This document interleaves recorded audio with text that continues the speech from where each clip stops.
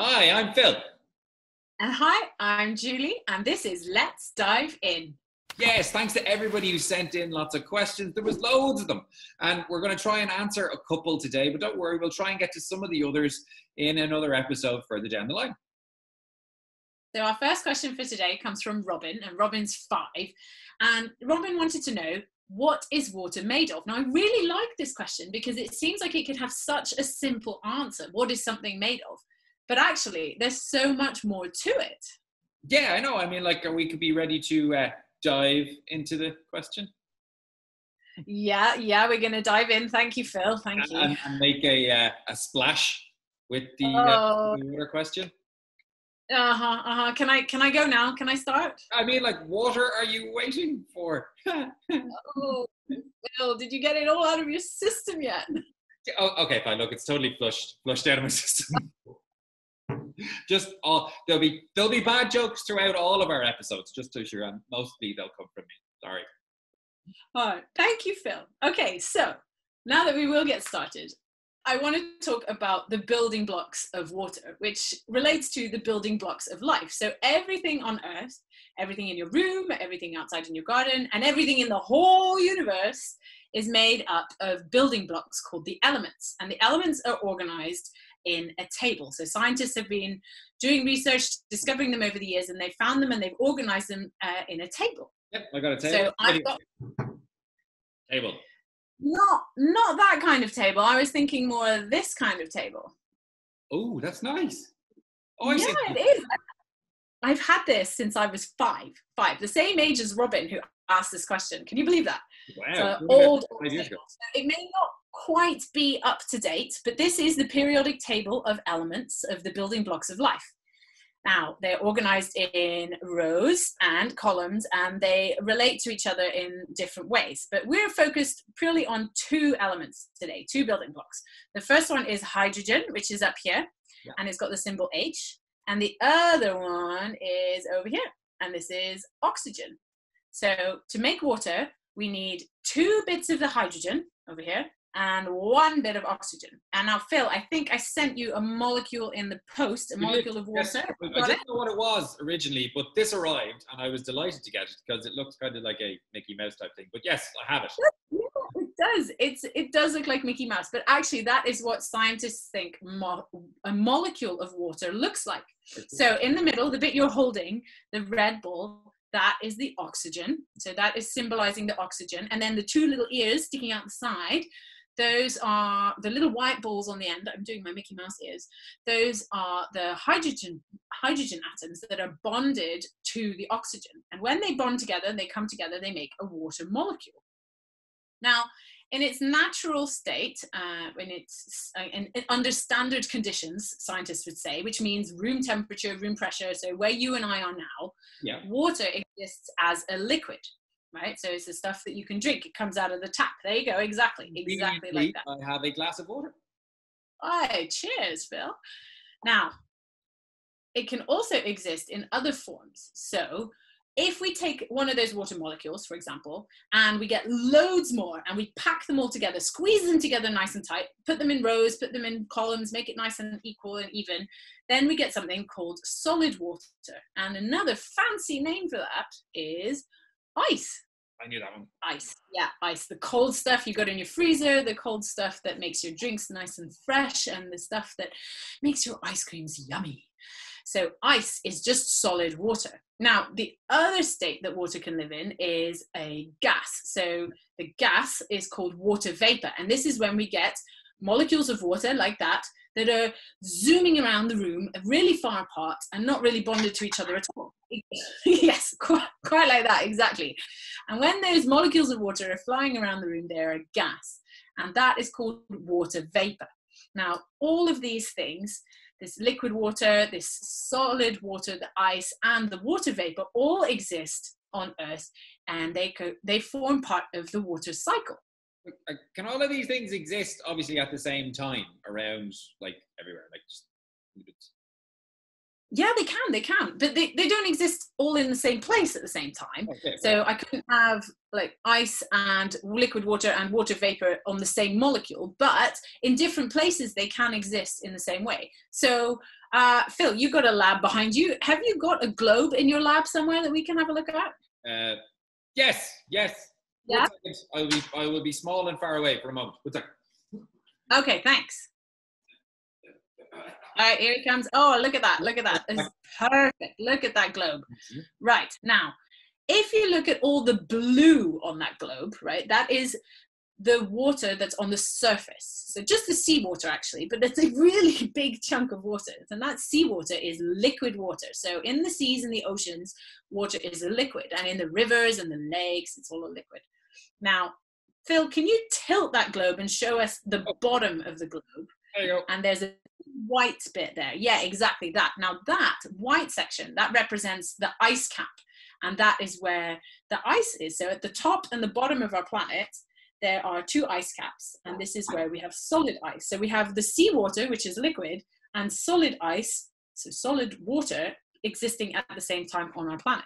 Now, we can also have the water vapor. So think clouds in the sky. That's where your water vapor has gone up in through the sky into the clouds. And I've actually made a uh, little painting for you Oh, of how the how water cycle artistic works. of you. I didn't know you were that good. That's nice. Oh, right? I can make that. Yeah, so like, here we've get got- watercolors or Yeah, it's watercolors. It's watercolors and a sponge. So I get a load of water, splash it on. I use a straw to blow the water across my page as well. So like the wind blows the clouds and blows the water across the world, right? So well, let's start with that. Okay, so we've got the wind blowing, whew, clouds down, and then they form clouds, and then the clouds let the water out. So there's your water, your rainwater coming down. Okay, and then we've got water running off down into the sea here. So there's your your liquid water, yeah. And then some of it will get really cold and it'll turn into ice. But then the sun will be beaming down and it'll evaporate all that water back up, and it'll form clouds again, and whoosh, the wind will blow it across, and it'll come back down again. so it's like a cycle. So like like a bicycle that keeps going round and round and round. Like Exactly, exactly. So all the water on our Earth, except the stuff that's trapped underground, because there's quite a lot of it trapped underground as well. in But ground- a lot of it that's on the surface. Groundwater. Yeah, Water. Exactly. Groundwater. There you go. You got it. You have it, of course. Sorry, you know these things. Me trying to no, sorry. So exactly. So it's it's all trapped in this cycle. So that's pretty cool, I think, that all the water goes around and round. So if all of this water, just point of question. So all Mhm. this water is going all the way round and round and round. Does that mean that all of the water that ever was here is still here, or are we running out?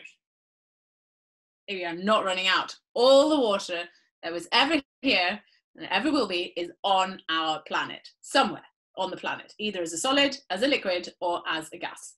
And I think that is so cool. It is really, really cool. That's pretty. Even if you take that cup of water that you've got next to you, Phil, and you drink that, Yep. it might look like it's gone, Mhm. but actually, it's not. It's in you. It's in there. And what'll happen, right? The cool thing now, you've drunk it, and it'll go down your digestive system, and it'll come out the other end, and it's still part of the cycle. So, so I drink it. It goes in me. It comes out of me. It goes in the toilet goes sky cloud. Does that? Am I drink? Am I drinking my own or somebody else's pee? No, no, no, no, no, no, no, no. Thank goodness, no, no, you're not drinking pee. So when it goes in the toilet, it all gets cleaned up, and then the clean water comes back into the system. Oh, that, That- that could have been. That could be embarrassing. So have another sip, you'll be absolutely fine. So there we go. We've got our answer to Robin's question. You don't need to worry. You are not drinking pee. Water is not made of pee. It is made of hydrogen, two atoms of hydrogen bonded to one atom of oxygen. And there you go. That is water.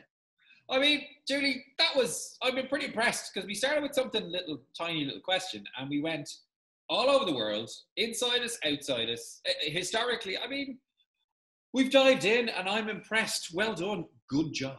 Yeah. Grab a towel, dry off, on to the next one.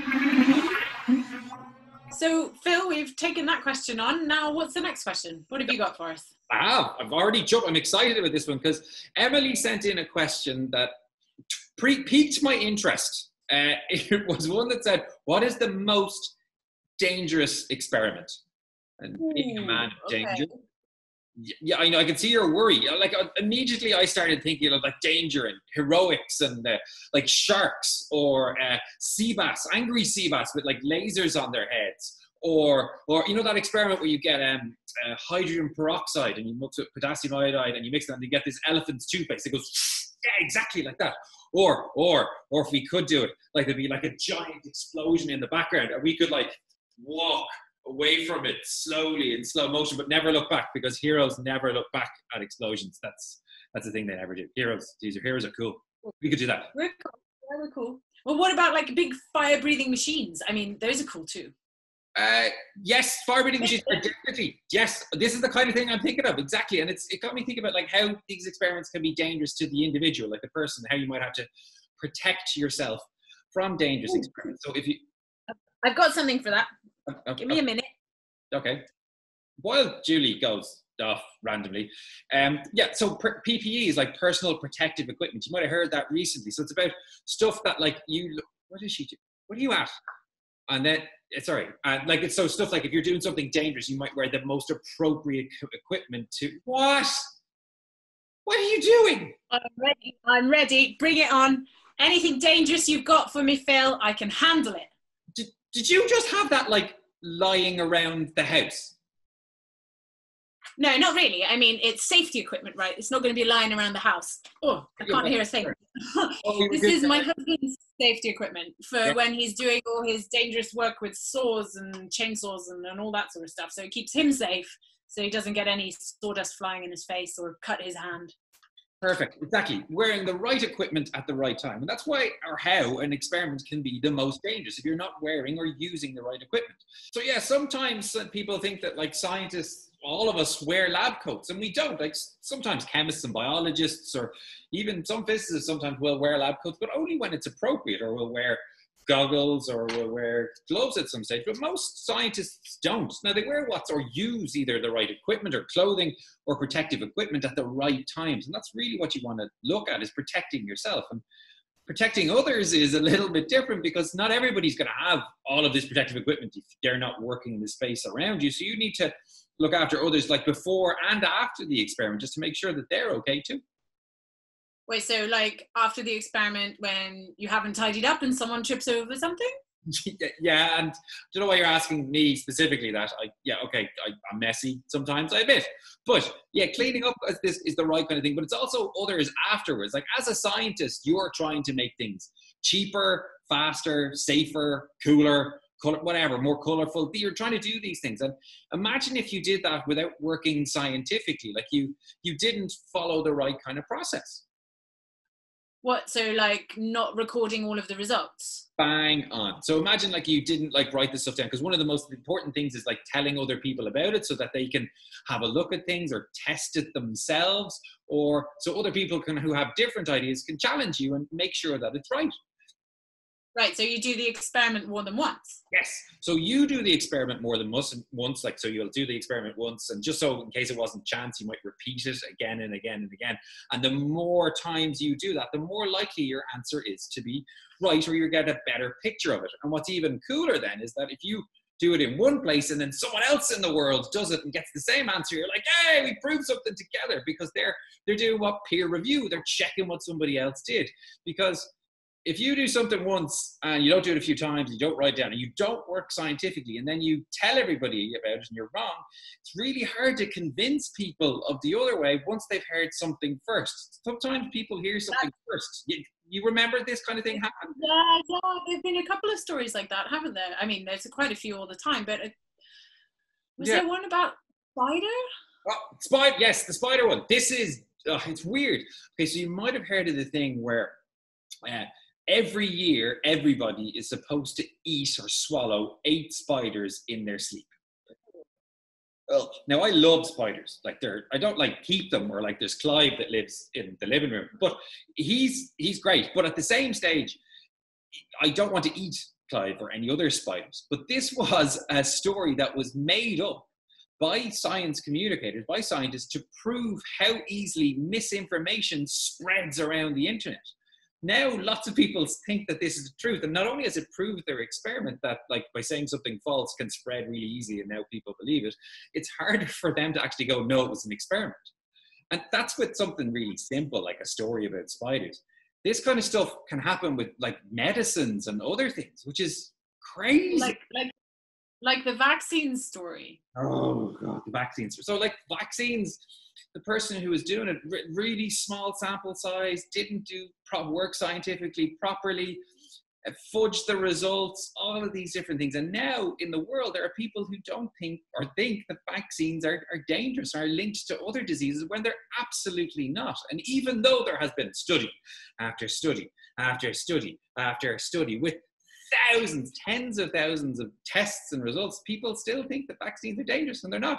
So this kind of thing is quite dangerous. You've gone from being dangerous to you to others, but others in a big way. So you have to work scientifically to get things right.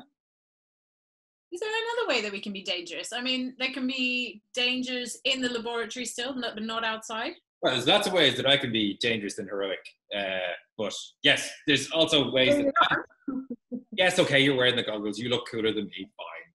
Uh, there is other ways, but uh, this, like I said, when we were, I was diving into this and I was trying to think of different ways. I wasn't trying to just think of the one way. I was trying to think of because it was dangerous to me, it's dangerous to others right there and then. It was dangerous to others maybe in the future. But then I started thinking, could we be dangerous to the experiment or the science itself? Oh, there are there are. I think there are clean rooms as well, aren't there, where you you have to protect you have to protect the work that you're doing from you know a cough or a sneeze or you know a germ on a finger or whatever yeah? this is why you and me work together julie. You've got the same. I have exactly this kind of stuff. So you could be dangerous to the experiment itself or the stuff you got. And i have if yeah just give me like so i have stuff that we can wear so i have i have some ppe equipment. It's kind of a bit different to yours. So i have to shoot.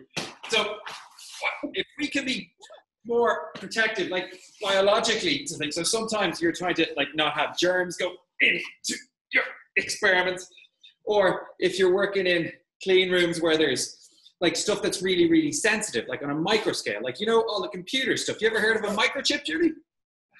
Uh, yes, I have. So there's lots of companies that are like, oh, that looks not heroic. When you're looking like making all these kind of things. Sometimes these processes are so small. There's billions and billions of transistors on like microchips or microprocessors that work in all of our, our stuff. Have, oh, look, they're here. Um, and if a tiny little speck of dust gets on them, it can ruin the whole lot of them. And that's really, really dangerous because, you know, you lose lots of money, but it also can be dangerous to the experiment of the product that you're making. Um, but you know, they donated lots of their PP equipment to all other people. Um, but I just think that it's mad that these places where they're mic- making microchips, which I kind of, I think, oh, oh choose, choose, one second. Almost. Okay. So, choose two because feet. Uh, oh my goodness. Places where they make these microchips are actually cleaner than operating theaters where they do surgery on people. So if you're doing surgery on people, you can imagine how clean it is. Yet, where they're making microprocessors, yeah, there, simple. Oh my goodness.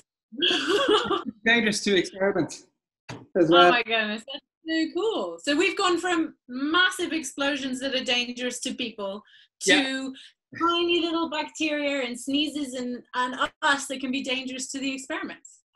Yeah, yeah, and it's actually, I could have thought about this too because I, I, rushed through that and now I'm pretty warm because of all the. Yeah, that.